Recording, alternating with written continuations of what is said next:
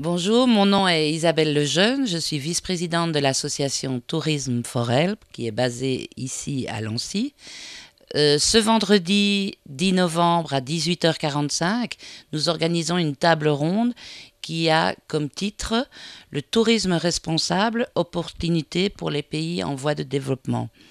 Euh, nous sommes heureux aussi d'accueillir comme modérateur pour cette table ronde Daniel Vermus, qui est cofondateur d'InfoSud, et prendront la parole Milasoa Cherel Robson de la CNUSED et Raphaël Matos Vassem, qui est géographe et professeur à la Haute École du Valais. Euh, on aura surtout aussi le, grand privilège de recevoir notre partenaire sénégalais, qui est directeur du centre de formation à la Sommone, Cœur Yakar. Voilà, vous êtes euh, conviés et j'espère que vous viendrez nombreux. Merci.